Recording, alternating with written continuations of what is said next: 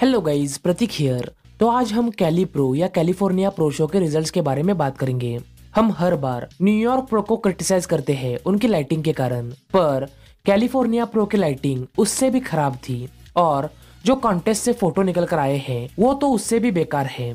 पर अब हम क्या कर सकते हैं? 2020 कैलिफ़ोर्निया प्रो के विनर बने एंटोनियो वेलेंट सेकंड पर रहे मैक्स चार्ल्स इन दोनों के बीच में टॉप प्लेस के लिए बैटल हुआ। काफ़ी करीबी मुकाबला था।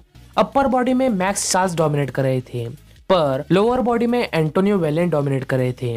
मुकाबला काफ़ी टफ रहा। एंटोनियो और मैक्स चार्ल्स इन दोनों के बीच में सिर्फ़ तीन पॉइंट का फासला था।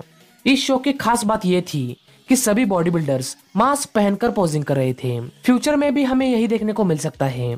शायद बॉडी बिल्डर जब स्टेज पर होता है स्टेज पर पोजिंग कर रहा होता है तो वो कितनी हेवी ब्रीदिंग करते हैं। तो मास्क के साथ ये कैसे मैनेज करेंगे? पर बहुत लोगों ने मैनेज कर लिया। पर आप देख सकते हो, इन्होंने तो मास्क अपने नाक पर नहीं, मुँह पर पहना है। फिर इसका फ़ायदा क्या हुआ? खैर फ़र्स्ट पर रहे एंटोनियो वेलेंट इनकी फिजिक मुझे अच्छी लगी, खास करके उनके लेग्स लेग्स के अंदर अच्छा खासा साइज़ था। लेग्स में कट्स और कंडीशनिंग बहुत बढ़िया लग रही थी।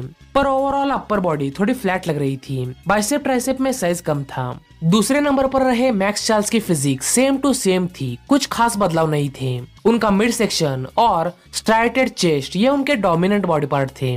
ओवरऑल उनकी कंडीशनिंग काफ़ी अच्छी थी।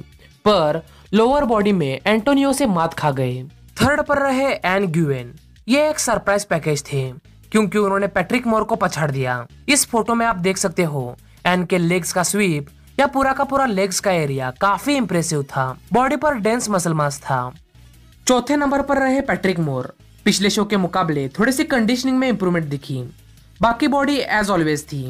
पर इस फ़ोटो को देखकर मुझे ऐसा लगा कि पैट्रिक ने थोड़ा सा साइज़ गेन किया है। आपको क्या लगता है कमेंट करना। पाँचवें नंबर पर रहे एडी ब्रैकामोन्ट्स छठे नंबर पर रहे मोहम्मद शबान। सातवें नंबर पर रहे जो सीमन आठवें नंबर पर रहे हसन मुस्तफ़ा, जिनको पिछले शो में सभी विनर मान रहे थे, पर हसन पिछले शो के बाद हॉस्पिटलाइज हो गए थे। सो इसी वजह से कंडीशनिंग पर अफेक्ट पड़ गया। तो यही रहा पूरा कैलीप्रो का रिज़ल्ट अगर आपको वीडियो अच्छा लगा हो तो लाइक शेयर करना और ऐसे अच्छे अच्छे वीडियो के लिए सब्सक्राइब भी करना। अगर आपके पास बॉडी बिल्डिंग फ़ील्ड से रिलेटेड कोई न्यूज़ है तो हमें इंस्टाग्राम पर शेयर करना। इंस्टाग्राम की लिंक डिस्क्रिप्शन में है। Thank you